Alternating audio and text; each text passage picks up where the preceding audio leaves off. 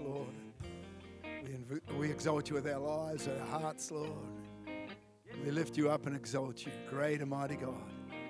Jesus, Jesus, Jesus. No other name, Lord. No other name. Thank you, Lord, for your name. Thank you, Lord, we're saved by your name. We're protected by your name. Oh, Father God, we stand in the power of your name. Sons and daughters of God.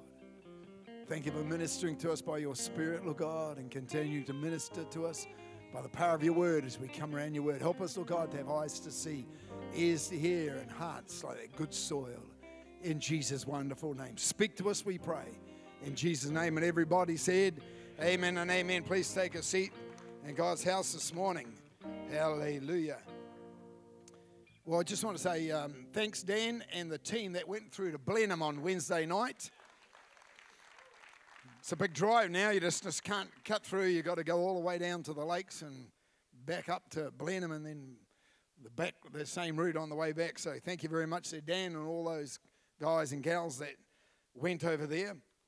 It's our last Connect, uh, Freedom Connect group for the year.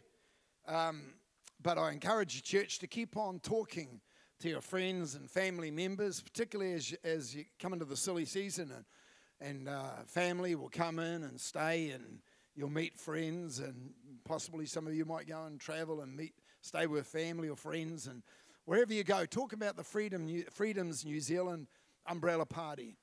Um, promote it, keep on pushing it out there because our nation needs it. Because um, we all think we've gone back to normal because we can go to our local cafe and have our, our normal lattes and all that. But uh, the G20, the, the leaders of the most powerful nations in the world, this week signed uh, an agreement between all the nations uh, for the vaccination passports to be um, compulsory and uh, put throughout the world. So uh, that's going to be happening, uh, unless God does a miracle, that's going to be happening this coming year. that means you won't, you and I, those that are not vaccinated, we, and those that don't keep on getting your boosters, I think it's up to about 15 or 29 by now. Um, if you don't get, keep on getting your boosters, your vaccination certificate or passport will be null and void and you won't be able to travel. And so uh, that means international travel will be limited, and then they'll bring the, the clamps down, down on us locally. And uh, this coming year, particularly after the elections next year, is going to be interesting. So keep on uh, talking to your family members and it. And um, at the moment, I don't know if you're aware, but some of the um, most evil laws are being passed right now. Um, and things that no government has ever done or seen to be done have been doing it right now this week with the three waters, um, which is now five waters, and uh, they're making statutory so it can never be undone by the governments in the future will not be able to undo this ungodly law that they're bringing in. And it's not just in New Zealand. The Three Waters thing is the name of the New Zealand government water grab, but it's happening in, the, in nations throughout the world. Nations, uh, governments are taking over uh, water supplies and uh, food supplies and people's freedoms because they're not, it's not just trying to get rid of COVID. That's, just, that's, that's way behind us now. But they're after to, to take over this world. The left wing, uh, and it's all part of end time doctrine. So if you're familiar with that, it's happening right now. Um, so uh, what I'm saying is Bible, and uh, the whole vaccine, whole vaccine passport is to bring in the mark of the beast. That's the outcome of it. So I believe we can we can hinder that by bringing the truth to bear. And so, talk about it with your friends and family members. Make people aware. Get them to vote for Freedom New Zealand's uh, political party. Um, and this, and, and I don't know if you, um, you know, we all are very much aware. Uh, our mortgage rates have just shot up this last week, uh, biggest increase ever in New Zealand's history. And uh, so you, you tenants are not going to miss out. Uh, your landlords will have to increase your rents to pay their mortgages. So everybody's increase. And, um, and to then hear the guy Orr from the uh, Reserve Bank say that he has been driving this recession. He's been the author of it and driving this recession to try and bring inflation down. That's like sort of trying to do an operation on your body with a chainsaw. There's a whole lot gentler ways of bringing down inflation. They don't have to drive recession.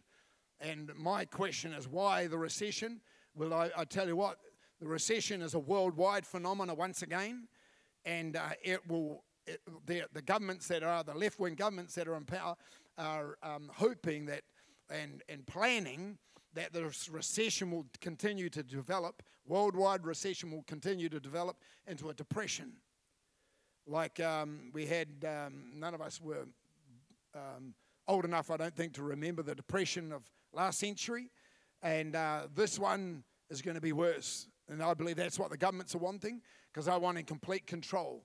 So they have control of our water, they'll have control of our food, they'll have control of our freedoms, they'll have control of our speech.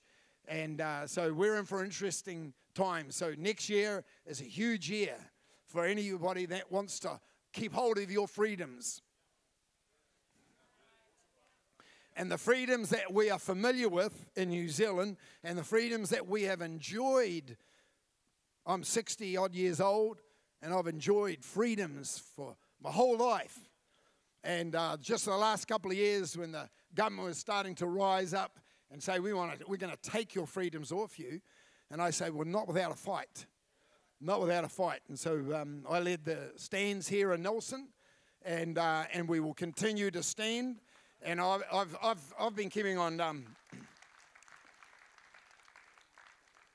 I had about four or five people from the church join with me in the stands with the nurses and the health professionals because uh, part of the whole process of taking over the world and controlling the population is they've got to destroy the health systems. So the health systems, and once again, it's got very, they use COVID. They use COVID to destroy health systems. And so um, a, few of us, we stood at the church steps a couple of weeks ago with our health professionals who have been mandated out of work. There's over 1,300 health professionals out of work because of the mandates. That's ridiculous. In a day and age where people are dying uh, on waiting lists to, to see their, to get into their local hospitals, you know, and, uh, and then a couple of months before that, uh, in the pouring down rain, I stood with the health workers and the nurses, and the pouring down rain came, came back absolutely saturated to the bone. But I'm a fighter. And, I, and, and some of you guys and girls are not fighters. So you won't have any right to complain uh, when we move into the new system. The new system is going to be called socialism or social democracy. It's another pretty word of saying communism. And that communist demon wants to attack and shut down the church of Jesus Christ as the first port of call. And if you have a look at all communist nations, and I've been, I've traveled a few of them. One of their first attacks is on the Church of Jesus Christ. They've got to attack us and shut us down because we, they know we are the only threat to their existence. So please keep on standing, keep on talking to people.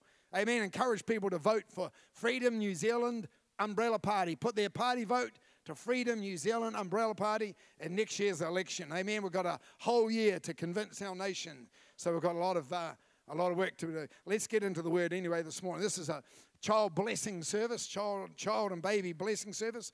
So I've entitled this Pleasure and Privilege of Parenting. Pleasure and privilege of parenting. It's a pleasure to parent our kids. Amen. It's a privilege to parent our kids. And I believe it's a stage of, of, of growth of adulthood.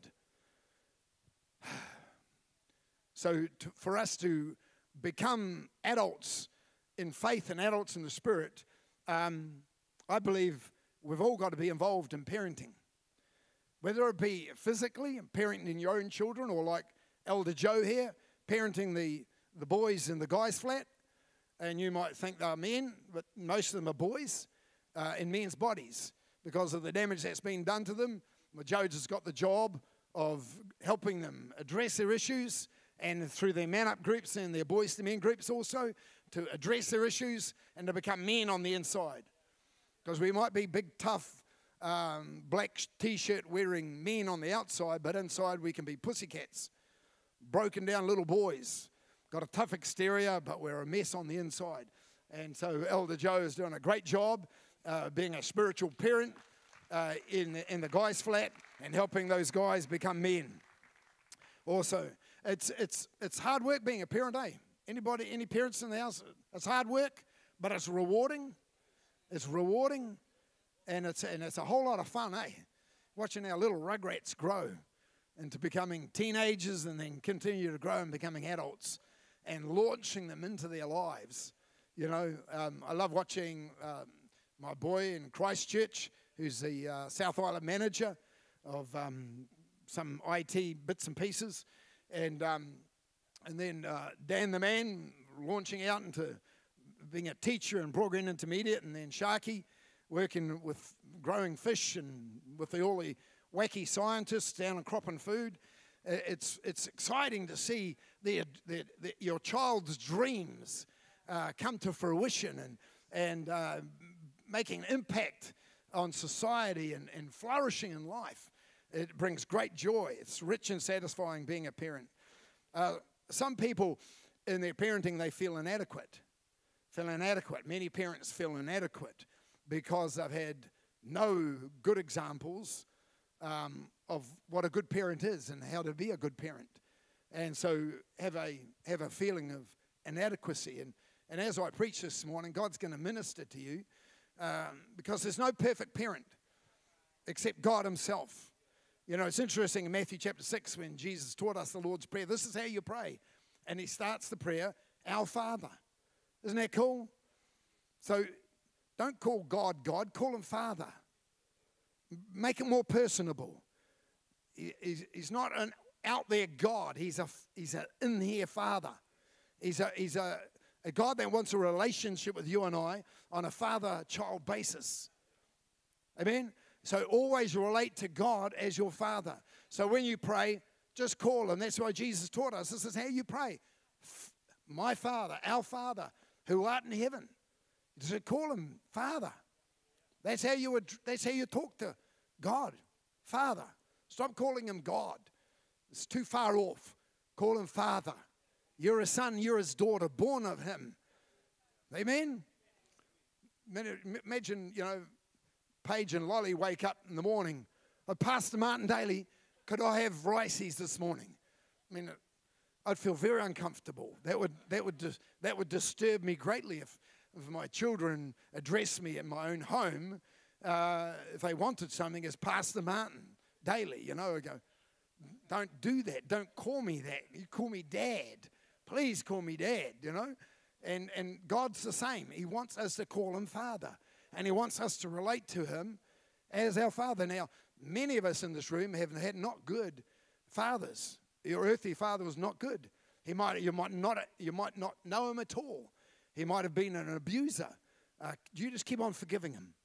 Keep on forgiving him. Whenever you feel the pain or the memory of your, what your dad did to you or what he didn't do to you, forgive him. Keep on praying that prayer of forgiveness. Seven times 70 a day. Keep on praying that prayer of forgiveness until you no longer remember the bad things. You've got to work at bringing up the bad memories. The, the bad memories are all gone. The pain of the damage that was done to you is all healed. Now you're free. Now you can think of your dad without, you know, knotting up on the inside or bringing a tear to your eye. Are you with me? Hallelujah. So, um, and, and like I said, there's no perfect parent. So stop beating yourself up, parents. I've had a couple of, you know, well, over the years, many parents come up to me and, and say, listen, I'm struggling in my parenting. And often it's single parents. And they say, I, I, I feel I'm making an absolute mess of parenting. And uh, the kids are in the church. And I say, I know your children. And your children are very good, which means your parenting is good. Might not be perfect. There's areas of improvement in all of our parenting. But um, I know by the fruit of your parenting, I can see it in your children's lives. They're good, stable, consistent, happy, friendly, confident kids. And so stop beating yourself up. Amen? you might you might be thinking, Pastor, I've I'm, I've uh, haven't got any kids, so this word doesn't really relate to me, or I've raised my family and they've all left home. This is I should have stayed home really. Um, that's what some might be thinking here, but, but don't don't do that. I'm not here. To, it's not an educational class. There's going to be impartation into your life. There's something in this word for you here this morning. And I can guarantee God will speak to you if you keep your ears of your spirit open and the eyes of your spirit open and, and listen to what God is saying. God will speak into your life and most really bring about big healing in your life, I guarantee. Hallelujah. So, no perfect parent, but there's also no perfect children. No perfect children. I know some of you might say, Hold on, Pastor, I was a perfect child. Well, give me five minutes with your parents, and I'll say you're not or five minutes with your teachers, and I'll say, no, you weren't. None of us are perfect. The only perfect child there ever was was Jesus the Christ. The only perfect child. The only perfect father was God. Hallelujah. So stop beating yourself up. Let's turn our Bibles, please, to Psalm 127 verse 3. Behold, children are a heritage from the Lord. Isn't that cool? They're a heritage from the Lord. The fruit of the womb is a reward. Say, My child is a reward. Say, My children are rewards. And some of you guys are single, and so you're, you're, you're, you're prophesying that over your children to be. Your children that you're going to bring into this world and raise a reward, are going to be a reward from the Lord. So don't, don't look at your kids like they're a pain in the bum. And, and I've heard parents say basically that, you know, you know, about their child, and, and they've got the wrong perspective. And because they got the wrong perspective as a parent, that's exactly what the child will become. Because you look at your child like they're a pain in the bum, they will become a pain in the bum. And so you look at your children as a reward from God, a heritage of the Lord for you. Amen? They're a blessing. Say, children are a blessing. Like arrows in the hand of a warrior. That's us men went out archering yesterday, shooting these arrows all around the place. Um, I was hoping that we could have some live shots at Maddie, but no. He, the guy who was teaching us about our, um, archery wasn't too keen about that, and neither was Maddie. So, oh well, maybe next time. Um, like arrows in the hand of a warrior, so are the children of one's youth. So our kiddies are like arrows. And if you think of an archer with an arrow, firing an arrow, the arrow goes a lot further than what the archer has. Are you with us? So if we raise our children's well, if we raise our children well, they're going to go a whole lot further and achieve a whole lot more than what we ever did. And and if we walk with the Lord, we can undo the damage that was done to us so we don't pass it on to them. So the cycle of dysfunction finishes with us. And that's what that's one of the great things of Man Up Legacy Boys Men Dimes Youth Nations. We can we can break the cycles of dysfunction now today instead of passing on. If you don't break your cycle of dysfunction, the damage that was done to you, passed on down by your father or grandfather or parents, grandparents, you're going to pass it on to your kiddies. So address the internal issues. Address the damage that was done to you. Stop excusing it. Stop blaming that generation. You know, stop feeling sorry for yourself. You know, bite your bottom lip and, and address the internal issues that are on you so you can set your children up for success. They won't have to struggle with what I've struggled with. That's what I, I love watching uh, Daniel and Marcus. They don't have to know anything of the, my struggles. I, they know it by because I tell them, from time to time as we joke about it, um, but I don't pass it on to them. So they, they don't have to go through what I've been through. And I can remember when they were 18 years old, and I would look at them and thinking, I mean, they, they still look like, you know, young kids and still behave like young children. And they're 18 years old, and I thought, that is so cool. That is exactly how it's supposed to be. Because when I was their age, I was doing time in prison. And I thought they, imagine, I, I look at them and think, man, when I was their age, I was doing time in prison. And here they were, 18 years old, enjoying their teen years, uncluttered, undamaged, and wholesome. Having wholesome fun with, a, with, with awesome Elder Joe and Big Yarn up in, in uh, 20, 20 kgs less Big Yarn uh, up in Auckland. Um, he hasn't had an operation, he's just been getting fit and healthy, good on him. Um, but uh, Elder Joe and Yarn did a fantastic job of taking Daniel and Marcus under their wings, and they would have all nighters on the Xbox and all that. And uh, I slept like a baby. Um, as a single parent, I didn't have to worry about it. I knew they were with a good company and they were having, you know, all their teenage mates and having wholesome fun, doing all nighters on the Xbox. And I thought, that is fantastic. They're flapping their wings as teenagers without doing drugs or alcohol or illicit sex or, or crime that I was doing and ending up in prison like I did. They don't have to do that. So, uh, parents, we can set our children up for success or failure all by really how we are. How we are. Not so much what we say, it's how we are. If we're free here, they can be free in their lives. Hello? So it's, it's not a whole bunch of rules and regulations that we're passing on to them. You will do such and such. Now that's ministering and living out of, and parenting out of the tree of knowledge and good, of, good and evil. And it doesn't bring life. We need to parent out of the tree of the tree of life and bring life. Do I hear an amen? Happy is the man who has his quiver full of them. I got five. I'm happy. That's me. Two grandchildren and five kids. Happy is the man. I'm happy. Are you happy, parents? Any happy parents in the house? Awesome. They shall not be ashamed, but shall speak with their enemies in the gate. Isn't that cool? So basically, because children are a heritage from the Lord, they belong to the Lord. Your children do not belong to you. You're a, you're a, I, my children do not belong to me. I'm a steward of them. They, they belong to God. God is their creator. He is their heavenly father. And He has committed my children into my care for a period of time to raise them in His ways and to set them up for success. What a privilege. And if we do it well, it is such a pleasure. Daniel and Marcus have never, and, and Lolly and Paige, never ever, and, and Nathan down in Christchurch, never ever given me one day of grief. My, all my kids have never ever given me one single day of grief. Isn't that cool? I'm not perfect, but I'm a good parent. Why? Because God has helped me address my internal issues. I could see the things that were, the negative things that were in mum and dad, as well as the positive things that were in them, that were in me. And so I could accentuate the positive while addressing and getting rid of the negative. And that's what I did as a young Christian. I concentrated on getting a lot of these weeds out of my spirit, these blockages and these hindrances out of my spirit. And, uh, and so I could be a good husband and I, be, I could be a good dad and glorify our great God. Do I and amen.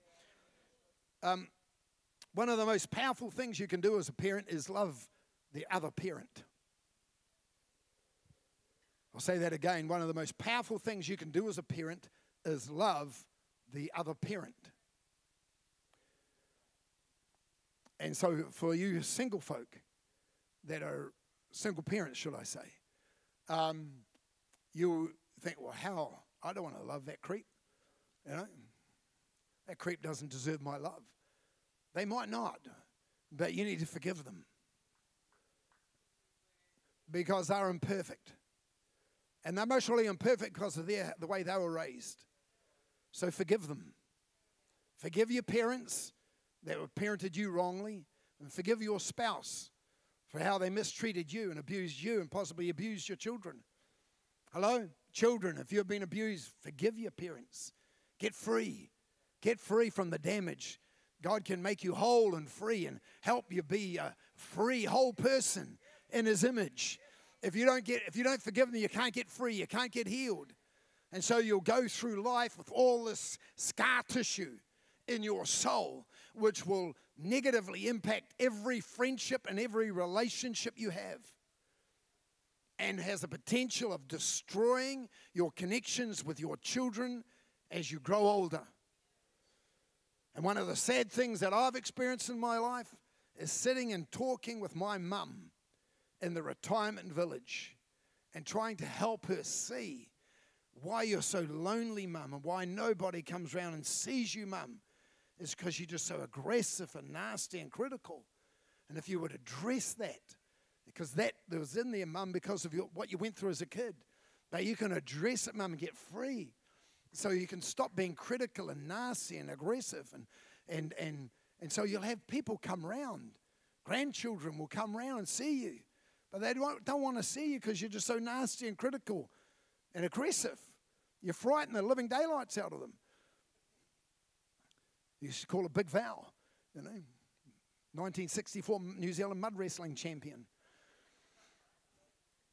I say that and introduce mum to introduce mum to many dignitaries. Well, this is my mum. This she's the 1964 mud wrestling champion of New Zealand. And so she would sit there straight faced. I'd sit there straight faced, and the person, the dignitary that we're talking to, and um, I wasn't bitter. belittling mum. We're just having we're having a joke. And, um, and she knew how to play along very well, so she'd sit there straight faced, like it was true. And, uh, and to see this person, they would look her up and down, they go, Yeah, she's got the stature for it.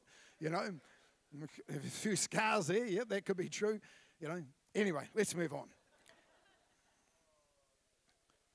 But one of the things you, if you're a single parent, never ever, and you most probably have done it, never ever diss the other parent in the hearing of your children. And you might, you might, you might be still together with the, your other, your spouse, the parent of the, your children. Never ever diss them in the hearing. Never ever speak negatively of the children's other parent in their hearing. You listen to me. If you speak negatively of the other parent in, in your children's hearing, you will damage your relationship with your children because in a child's heart, they love both mum and dad. They know mum and dad are not perfect. They children, you can't put on the show. You might be able to fool adults, but I tell you what, you'll never ever fool your kids. They know when you're going through stuff. Hello? They know that we're not perfect, but they still love us. And and psychologists have told me that um, even an abusive father that has beat, their, beat the mother and beat the children, he is still their hero. Even though he's an abuser, he is still their hero. The pain and the damage and the scar tissue of that will come out in the child's teenage years, and they will often end up doing time and getting involved in, in uh, drugs and alcohol abuse and crime and gangs, etc. But never ever speak negatively about the other parent because you damage your relationship with your children. Hello? One of the great things you can do to win your children is to speak positively of that other parent, knowing that you're not perfect and neither is the other parent perfect. But for whatever reason, you don't, don't need to go into the gory details, whatever reason, you can't be together anymore. Sorry, kiddies. Sorry for the pain we've put you through for our family breaking up, family home breaking up. Immense pain in a child's heart. One psychologist that worked with children for over 25, 25 years said this when, when the divorce happens, that's the day the child stops being a child. The psychologist worked with children and parents for over 25 years. And so, uh, what, what you were saying in that was the damage that's done to the child's heart stunts their emotional growth in their soul. And so they will struggle in their relationships and in life. Hello. But praise God, you're in the house of the Lord. Praise God, you're a man up in Legacy, Boys Men, Dimes, Youth Nation. You can address all this pain and dysfunction and damage that's been done. You can get free. You can get free. See, a problem doesn't get better by itself. They say time heals. Rubbish. A lot of this dysfunction just buried, just festers, festers, and just and weakens and just does immense damage to our soul, and will set us set us up for emotional breakdowns, mental breakdowns, dysfunctional and broken relationships all our lives. We can address our damage that was being done to us and get free on the inside and set our children up for a successful life. Do I hear an amen? Give God some praise if you believe what I'm saying here this morning. Speak well of the other parent always.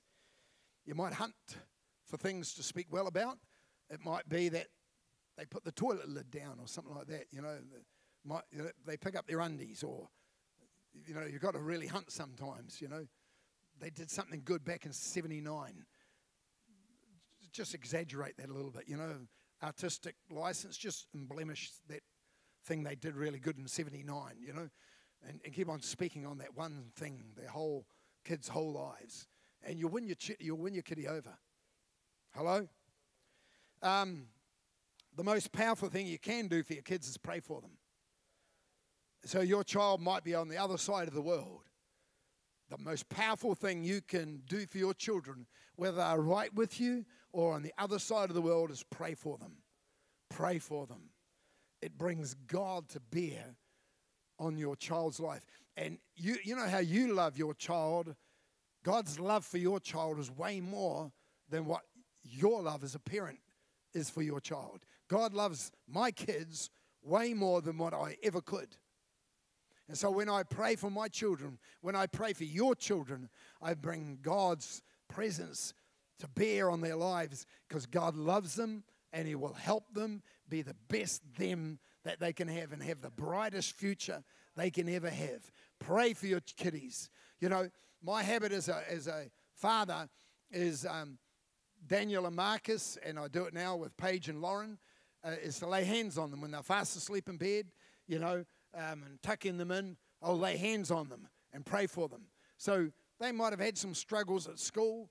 I can deal with that struggle right then. I can talk with them in the daylight hours, but I can really, while they're still, while they're uncumbered, while they're just relaxed, I can lay hands on them and pray for them. I can, I can bring healing if they're battling with an illness, I can bring healing to their soul. If they're, they're battling with relationships and friendships and not going well in their classroom, I can bring healing. I can uh, bring impartation, uh, get them filled with God's Holy Spirit, God's hedge of protection, God's blessing upon them. So lay hands on your kiddies while they're asleep every night. So from, from zero right through to their sort of around about the 15, 15 year old age group that's what I did as a, as a dad for Daniel and Marcus, and I'm doing now for Paige and Lolly. And, and you're ministering into them. Powerful, powerful. Encourage you to do it. Um, be firm, fair, and fun with your kids. Be firm, fair, and fun according to their age group. So it's no good treating a four year old like they're a 14 year old. And it's no good treating a 14 year old like they're a four year old. And parents can do either. Don't do that. Based on their age, based on their maturity, uh, be firm, fair, and fun with them. And uh, you can't go too far wrong. I was, um, I was driving, driving along. I, I, I I dropped uh, Paige and Lolly off at schools, uh, at their schools in the morning. And um, so um, I was just driving along, and Lolly is, she's um, year six, the old standard for, for guys my age. Um, and, uh, she's got such a maturity. She's only, she's only young, she's 11 years old, but she's got such a maturity in her soul. And there's, got, there's great depth to her. And so she, she will talk about deep things. And you go, wow, blows my mind. Some of the things she comes out with, some of her observations of me, of Sarah, of our marriage, of our parenting, of people in the church, um, of other children. And, and, and, really is it negative. It's often coming out of a, of, um, a real heart, um, um, how would you say, a, like a, just about like a pastoral heart. And she's always been like that, you know. Um, and but I've got to remember that she's just 11. she might be talking things like a 21 year old, but she's not 21. She's just 11. So, um, so I'm not going to expect her to be 21, even though she might talk some of her stuff, particularly about, uh, her concerns about people, might be of a 21 year old um, in, the, in the spirit. Uh, she's just 11 years old physically, so I'm going to talk to her mainly on that level. Are you with, are you with us? So don't, don't force your children to grow up. Let them grow up. Facilitate it where they feel comfortable being young and guard their innocence because this world wants to pollute and contaminate our children's innocence, wants to actually rob. Um, educate your children by definitely because there are many predators in our country that prey on children.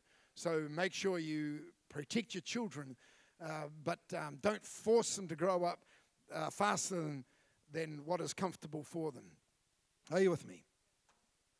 Um,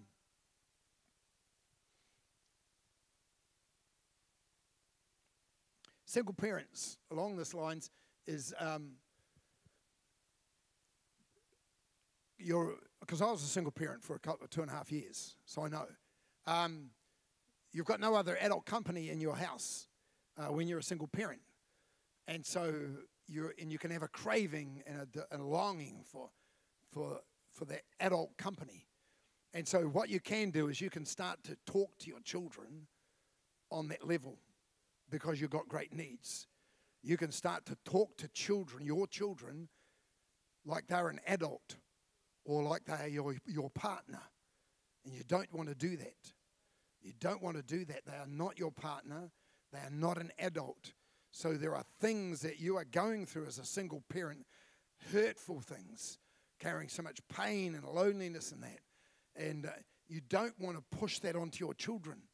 They're not able to carry the load of your pain as a single parent. So make sure you don't drive your children to become older than what they are because if you're wanting to unload your pain and your struggles and your the damage you have been through onto them and don't talk to them and address them particularly if they're say you're a single mum and you've got a, a, a son uh, you know it's your child. Don't talk to them like you're, they're your peer, uh, partner. You're, they're not your husband. They're not your partner. Don't talk to them along that lines, you know, and we can do it out of a desperate need, but we haven't thought it through. That if they're nine years old, talk to them like they're a nine-year-old. You need to take that desire to talk or need to talk on those levels to elders, man up leader, legacy leader, etc. Are you with us? Come to see myself, Sarah. Make make an appointment unload that pain and that heartache on us. That's what we're here for. Your children don't, you'll damage your children. And they can't comprehend what you're talking about. And it will confuse them and, and damage them in their soul. Are you, are you with us? Don't feel condemned if you've done that. It's just I'm trying to bring an awareness to some of these things. Um, one of the things with our children, make it, make it your big goal as a parent, your number one goal is to enjoy them enjoy them, and you make it so that they enjoy you. Hello? So, um, one of the things I try to do, all sorts of wacky things, you don't have to do stuff that I do, but um, uh, I make up songs about them and I sing them, whether it be in the kitchen in the morning or t- tea time, you know, when I'm doing the dishes, eating tea, driving them to school. I'll just make up some wacky song about how great they are and how gorgeous they are and how awesome they are, bloody blah, and sing them the crazy, wacky songs, you know.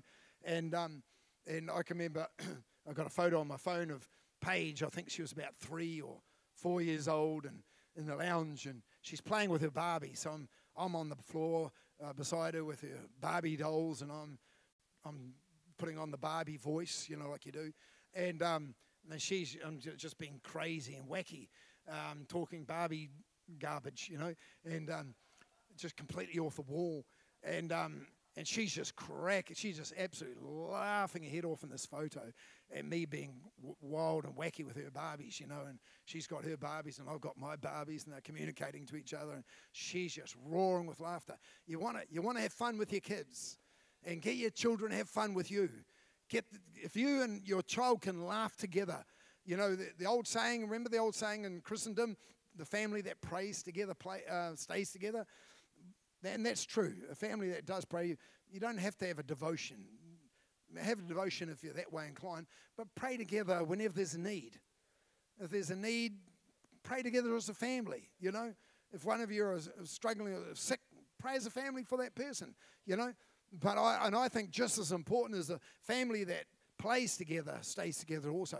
So just have wacky fun and, and make sure that you fill your house with as much laughter as you can. Because there's outside of your house, there's not a whole lot of laughter goes on. There's a lot of pain outside of your house, a lot of, a lot of dysfunction, a lot of crime, a lot of, a lot of murder and nightmare stuff outside your home. Make sure in your home it's different.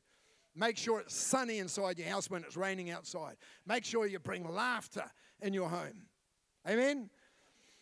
And husband and wives, um, we need to try and make sure that we laugh as much as we can. Keep laughter in your marriage and keep laughter in your home. Amen? Hallelujah. Um, tell them off if their behavior requires it. But make sure that how you tell them off is, is, um, is the same level as the, the, the, the naughty behavior. And, and um, I've got a big hand, and um, and because uh, I was a painter, you see, so um, and um, and so I do, and I do press ups. Uh, you might not think so, but I do. Um, and so um, I'm not as strong as say Elder was or anything like that, you know. Um, but I'm fairly powerful, and um, and so when I smack my kids, I can really smack them. Um, you know, they can fly through the air at a, a single smack. and so um, sometimes, you know, you've had a bad hair day, you've cracked your nail and everything, and you come home and, and the kids are misbehaving, and, you, and so you whack them. You've told them three or four times, and they carry on being naughty, so you whack them, whack, and they, you know, you've hit them too hard, you know. I know the government says it's against the law and it's all violence. What a lot of PC garbage. They don't, they don't know how to get out of bed barely. So I'm not going to listen to any of their rubbish. Um, God says in His Word, smack your kid. You know, if, they, if their behaviour is warrants it, smack them. I, would rather listen to God than, than Ardern or any other clowns.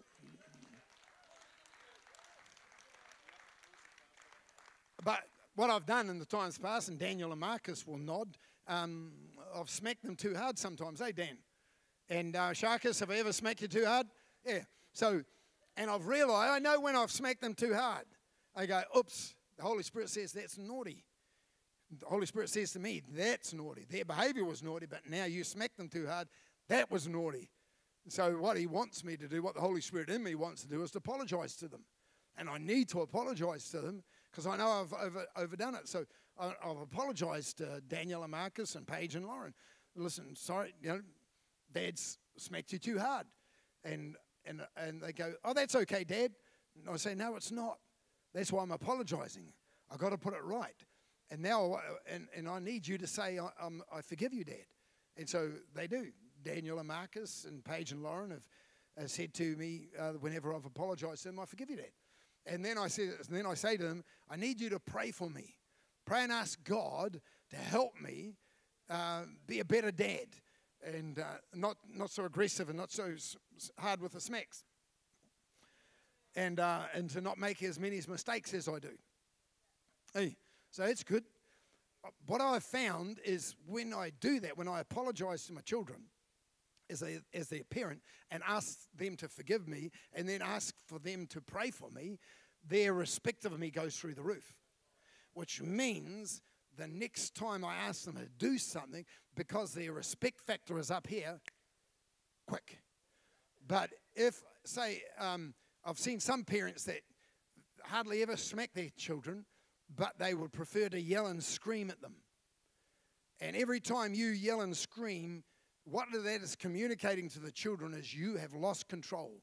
Because of their bad behavior, you have lost control as their parent, and you are yelling and screaming, and you have lost control, which causes their respect of you to go down. Because you see, when you talk to them and smack them appropriately and say, that is, that is inappropriate and it's wrong, and I've told you three or four times, so smack, don't do it again. They're, they're, if, you, if you discipline them properly, their respect of you goes up. And when you ask them to do something or tell them to do something, uh, they will do it a whole lot quicker. Hello? So stop yelling and screaming because and there definitely should be no um, swearing, name calling. Don't curse them. Don't curse them, bless them. Amen. Tell them why you're disciplining them because if you don't discipline them, then the police will in about another 10 years when they're teenagers. Hello? That's where the police discipline me. Uh, not because mum and dad didn't, they did, they just went overboard with it, you know, particularly mum. As I said, she was the mud wrestling champion. So um, when she disciplined us, we knew it. Um, anyway, let's move on. Um, Proverbs chapter 13, verse 24, please. Um, the punishment must fit the crime, eh? And, and, and part of discipline is not, not punishment, it's rewarding also. Reward the good behavior. So the rewards must uh, equal the deeds. Punishment fits the crime, but the reward equals the deed. So um, punish the negative, the bad behavior, and reward the good behavior. Don't try and buy them off. A lot of parents buy their children's good behavior. Don't do that. It's, it's, it's going to have the opposite effect that you think it's having. So get them to do things, and when they do things, reward them then. Don't buy their good behavior, reward it afterwards. It's all part of discipline. Proverbs 13 24. He who spares or she who spares the rod hates their son or their daughter, but he who loves them disciplines them promptly. That's a powerful verse. If you spare the rod, you spoil the child, you know. You don't want to spoil the child, you don't want to wreck the child. So um, don't be slack and lazy in disciplining. I know you had a long day and it's been a hard day, but make sure you discipline them and do it and it says do it promptly, which means don't let don't do it two hours later or two days later. They misbehaved right now. You need to talk to them about it now, and you need to discipline them. Now, the discipline might be you're not going to listen to, you're not going to watch uh, SpongeBob SquarePants. Now, if I was a child, that would really impact me because I love SpongeBob SquarePants. It's one of the most best Christian programs there are on TV. do it before they um, do that. Do it before they forget. Um, the, you know when the whole anti-smacking thing that the stupid politicians brought through brainlessly. I love how New South Wales government did it. They did it using their intelligence. New Zealand government did it by demons, just influencing them. But um, the New South Wales government, what they did is they they specified what was appropriate discipline. Isn't that smart? That is so wise. So they says you don't punch your child with your fist, you don't boot your child, you don't hit them round the head. You can smack their hand, smack their arm, smack their bottom, smack their leg, and that's appropriate. No punches with your fists, no putting the boot in, no using weaponry. Hello? A good hard smack on their hand or on their bottom or their leg or their arm is okay. And I thought, that is wise. Why couldn't we import the whole of the New South Wales government into New Zealand and export the rotten fruit that we have. Proverbs 22 15. Foolishness is bound up in the heart of a child, the rod of correction will drive it far from them. That's what God says. That's a good one, isn't it? For your promise box, um, or your child's promise box, whatever you want to do. Um, if you can't control your anger, if you do lash out with your fists and your boots, then don't do it. Don't do it. Get the other parent to discipline them or for get another form of discipline. If you if you find yourself lashing out with your fists, lash out with your boot, hit them around the head or something, don't you do it because uh, it's wrong, and you, and you don't want to go, do that. It's damaging to your child. It's, it's not not healthy. Smack them on the hand, on their arm, leg, bottom, with your open hand. Okay. Um, Holy Ghost. So uh, we're teaching them what is appropriate and fair. Re- make sure you uh, remember to keep on rewarding the good behavior. For every corrective word that you correct your children with, make sure you uh, speak 10 positive words into them also. 10 words of affirmation. Tell them how great they are. Tell them how, how brainy they are. Tell them what, a, what an awesome future. Tell them what they're going to do in life. Tell them that they're going to become a doctor or a lawyer, a polit- oh no, um, Oh, okay. A, a, good, a good politician, a good prime minister, a good MP, a good mayor. I know it's very hard to. I can see some of you are confused now. Pray for them, won't you? God says, pray for them. Um, so, teenagers. That's an interesting a stage of life, isn't it? As I said, um, Nathan, Daniel, and Marcus never gave me one day of grief their whole teenage years. You hear these parents talking about the terrible threes. I say, hell no. You know, when your child's one and two and they say, oh, you wait till the terrible threes. And I said, no, no, not ever going to have the terrible threes. My, my threes are going to be blessed. My fours and fives and six and tens and fifteens and twenties. They're all going to be blessed. My kids are all, they're going to flourish. Why? Because I'm going to work at it. I'm going to role model it. I'm not going to drive them. I'm not going to bash them. I'm going to reward them. I'm going to discipline them. I'm going to train them. I'm going to educate them also. You know, when, um, so, so like Daniel and Marcus, I'd say, listen, Daniel and Marcus, you know, sitting on the beach, you know, and you see the big flash fiberglass launch cruise by. Who would you like to be in, in life, Marcus and Daniel? Would you like to be the owner of that flash launch or the guy that's sitting on that towel there that's mainly made up of holes? Which one would you rather be? Um, that kids are always going, I want a flash launch, Daddy. You know, well, you're going to have to work hard at school and you're going to have to behave yourself. So that's why I address this wrong behavior because I want you to have the flash launches. I want you to have your own home. I want you to be the boss. I want you to do well. I want you to be a leader in society. I don't want you to be a casualty. I don't want you to be a prostitute. I don't want you to be an alcoholic. I don't want you to be a drug addict. I don't want you to be a gang member. I don't want you to go to prison. I don't want you to be a longest temporary employment worker in Nelson. I want you to have a bright future. Amen? And that's exactly what God wants for us. The path of the just shines brighter and brighter into that perfect day, God says. So that's what God wants for each one of us. He wants us to get better and better, life to get better and better, to improve every day, every week, every month, every year. Amen? Woo! And that's our heart for our children also. We want them to have more than what we've had. We want them to go further. We want them to achieve more. We want them to have a better life. Amen? We're not going to make them into idols. We're not going to work. We're not going to. Our children are not more. My children are not more important to me than God. My beautiful wife Sarah is not more important to me than God. God is the number one. Because that, I'm a good husband. Because God is number one, I'm a good dad. Amen. So make sure that your child is not more important to you than God. Because you made your child an idol, which means your whole life is upside down, it's inside out.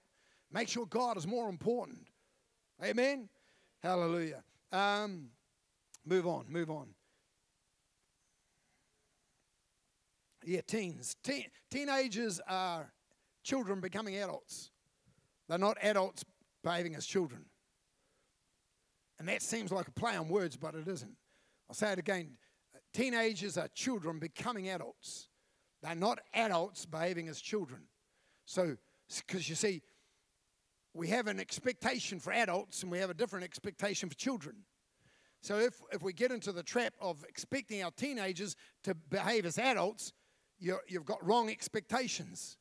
So you're setting your child up for failure. You're expecting them to behave as an adult when they're still a child becoming an adult. Don't expect your teenager to behave as an adult. One day they might behave as an adult, but the very next day they might behave, they'll behave as a child. I think the teen years are so colourful. I love, I love uh, watching teenagers. I love watching kiddies. You know, it's so so wild and weird and colourful. You know, you, you know. Um, had a bunch of bunch of the teenagers around home last night, and they were playing with Dan. Dan, um, some weird game on you know, censored, totally censored. I wouldn't have in such a just Christian games on my my devices at home, just Christian games. Um, but to watch the teenagers and to hear them just roaring with laughter, you know, and, and to watch them at the archery and, they, and to see them riding their little scooters around, you know, and wild and weird and so colourful. I reckon it's, it's such an exciting stage of life. Poor parents are going bald real quick, uh, but the kids are having a hell of a time, you know, and it, it's such a cool stage of life. Such, it's such fun, you know. So parents and enjoy your teen, teenage years, not your teenage years, enjoy your child's teenage years. Um, if you're 30, 40, or 50, don't expect your child to behave as a, a 30, 40, or 50 year old. That's, uh, just a teenager. Let them be a teenager. Amen? They might want to do something wild and weird and wacky with their hair. Good. Let them do it. Not you, Daniel. You're 30 now. Um, and as your, as, the, as your child grows through the teen years, they're going to test the boundaries that you've had on them through their childhood to protect them. You've protected them from themselves and you've protected them from predators. But those boundaries are not appropriate now as they move through their teenage years. Remember, they're children becoming teenagers, and so they're going to test the boundaries that you, as their parent, have put on them with their newfound freedom. They're going to clash with your boundaries. Now, don't take it personal. You know, your preteen and your teenager are starting to clash against your boundaries. Don't take it like a personal rejection. They're just going through the normal stages of growth of becoming an adult by clashing and, and testing the boundaries. And you don't you shouldn't have boundaries on your 13 year old that you had on your nine year old. You've got to change and alter the boundaries as they prove themselves responsible you, you loosen up the boundaries. And the next day they misbehave, you tighten them back up again. And then they do well and you loosen up. And all the time you're talking to them through why you're doing, why, you're, why, why, why are you taking their smartphone off them? Why you're not letting them anywhere near the laptops? Why, you, why, why have you changed the, the Wi Fi passwords? You know, why, why can't I watch SpongeBob SquarePants? You know, and you're 50 years old. Um, You got to you got to alter the boundaries. Are you with me? Um, pick your fights, parents. Pick your fights. I see some parents, their whole parenting is just like this one, just a non-stop fight with their kids. And I thought, oh my goodness, you're setting your kids up for just not a good life. So d- make sure you pick your fights. Um, and so you major on the major and minor on the minors. Don't major on minors. And so, so, so what's worthwhile, particularly in the teen years, different when they're little, you're teaching them lots and lots and lots.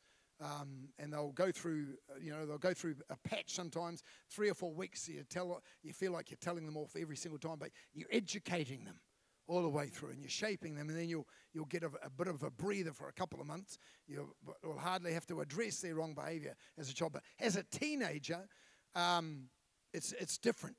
Are you with me? Um, so pick, pick your fights. What, so when Daniel and Marcus were in their teen years, and now Paige is starting, uh, she's going to be a teenager next year, um, just going to have to be, be wise and because we've been there before them, we're wise. Hey, we're trying to protect them from the mistakes that we made. So, but um, pick your fights. Uh, so you major on the major. So if it's life threatening, win that fight. You know, if it's um, you know they, you, you, they're into you, you hear they're, they're experimenting with drugs or they're, they're drinking alcohol with their mates, win that fight. That's a fight I'm going to win. I'm, I am going to win it. I never, I never, I never uh, go into a fight with my teenagers to lose. I am going to win the fight, which means I'm going to be shrewd. I'm going to be shrewd. I'm going to say things and do things and manipulate the situation. Um, I'm going to be devious because Jesus says, "Be as hard, uh, be as wise as serpents." So this, like the devil, be wise as a snake and as harmless as a dove. So that's, that's parenting. So you'll be, you'll be way, you're, you're about five steps ahead of your teenager, and they think they've, they, they're amazed how dumb you are. Um, so, so when it's a major issue, I'm going to win that fight. I am going to win it. Um, at all costs, I'm going to win that fight. And the fight doesn't stop until I've got the victory. Um, so, however long it takes to get the victory over I'm going to win that fight. But if it's a minor thing, they want to, you know, cut the hair in a weird way or they're on the Xbox. It's not life threatening. Hey, you know, nobody's ever died of a, a weird haircut. Not that I'm aware of, anyway. Um, and um, whether whether on the Xbox or not for two hours or four hours, ah, who gives a toss? I know some of your parents do. It's really up your, it really gets up your nose, but I think well, you haven't really had too many major incidents in your life, and you're making a minor into a major. Um, it's not life threatening. It's not a it's not a major. So I'm not gonna I'm gonna if I've if I've had some major fights with my kiddies and they want to cut their hair in a weird way and they're a teenager, I'll cut it for you. or if they've been on the Xbox a couple of hours longer than when I wanted them to be, I'm not going to lose any sleep. I'm not going to pick a fight on that one because I've just I've just had two major battles with them this day. I'm not going to add a little minor battle. I'm going to let that one slip. I'm going to ignore that one. I'm not even going to speak about that one. I'm going to try and distract them if I can, but I'm not going to pick a fight on that one. So don't don't pick a fight over every tiny little issue. Keep the majors majors and keep the minor minors. So if it's a major, if it's life threatening, pick that fight, win that fight at all costs. If it's a minor issue, let it slide sometimes. They'll think, oh, God, pull one over dad's eyes. Yeah, right. Um, are you with me? And, and, and not, not everything is smacking in that. It's, you know, like I said, uh, no Xbox for the next week. Um, I love that one, eh? Um, um, no smartphone tonight. Gosh, that really gets the mate. It's just like, you know, you know, crumble in a heap in a fetal position, a rocking back and forth. They're 18 years old, you know. It's amazing, eh? because they're high tech, they're into their devices nowadays. So you you be use those devices against them. Such fun, you know. Right, no smartphone now. Then watch them curl up and weep like a little, you know. you know, go away with a big smile. Celebrate that victory. Um, and uh, you know, t- changing the Wi-Fi password and not giving them that. That's another goodie. Uh, it's very easy. Um, or hiding the TV wand. That works wonders. Also, you know, hiding the laptop from them. You know, there's no devices, and they, they go for you know, they go for days hunting around for their. they're like a meerkat going through your house, you know, crying the whole time, and you're going, yeah, yeah. Um, don't try and be their friend all the time. Make sure you're their parent first. Our children need, your, your child needs you to be their parent first and their friend second. Make sure that's the priority in your heart also. So you don't relate to them as a friend first and a parent second. They need us as parents. Children need us as parents. So be their parent first and their friend second. Now, you might have been horrifically damaged by rejection uh, throughout your life uh, don't parent out of your rejection. So, you, so you're frightened to discipline them because you might be rejected by them. And so you don't reject them because you're frightened of being rejected by them. Because everybody's rejected you through your life, and the last person you want to, uh, to reject you is your children. And so you pull back or hold back from disciplining them. Don't do that. Don't do that. You be their parent first. Um, yeah, they might they might call you names through their teenage years, and they might say they even hate you through your through their teenage years. You carry on, and and and I can guarantee when they're in their twenties, they're going to come back to you. They're going to say, "Mum, Dad, I want to thank you um, for not not bowing to my manipulation, my nasty words, and my rejection. Thank you, Mum and Dad, for continuing and being consistent and you know, that'll, that'll happen. Guarantee it. Guarantee it. Um,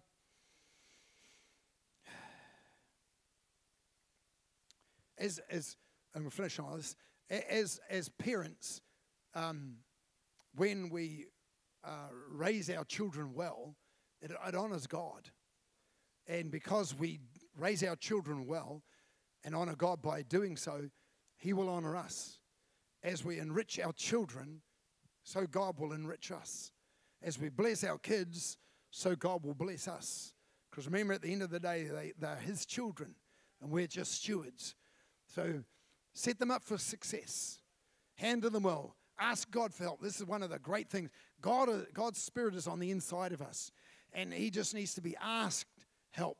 God, I need your help. Fill my heart with your love for my children. Fill my heart with your peace uh, over my child's future. Fill, fill my heart with your wisdom to know what to do and when not to do it, and what to say and when not to say it, and when to reward them and when not to reward them, when to punish them and when not to punish them. God, give me your wisdom, knowledge, and understanding. And Holy Spirit, help me to be the best parent that I can be. Amen. Can we all be upstanding, please? If you got, if you want your child blessed and they're through the kids' um, DK, you can slip out of your seat and go and get them and, and bring them in here, and uh, we'll, we'll have, we're going to um, bless those kids. Um, can we have that top off the oil? Get that. Well, let's just have that oil ready.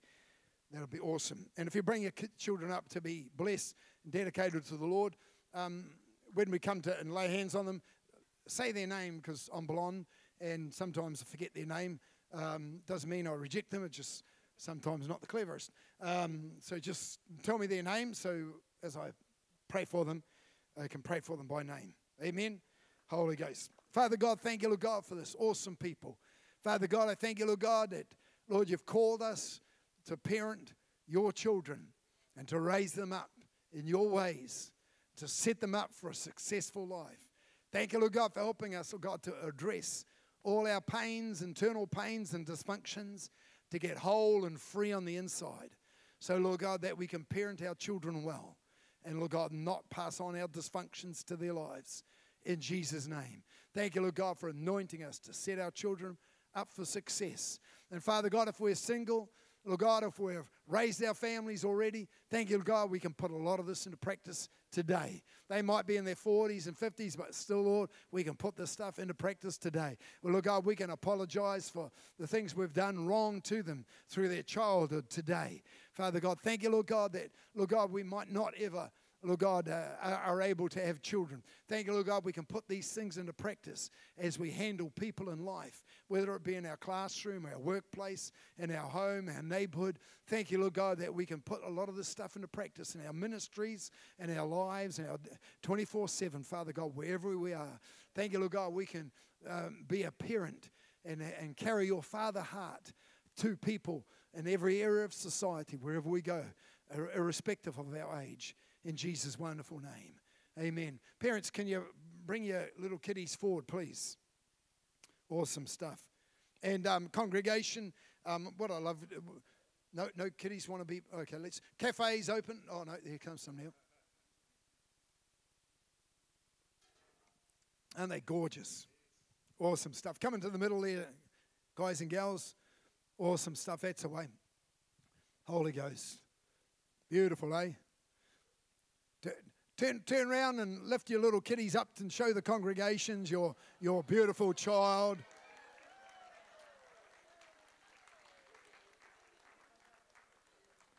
What a gorgeous, aren't they?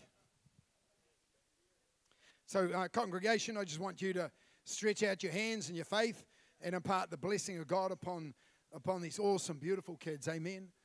Hallelujah. Father God, thank you, Lord God.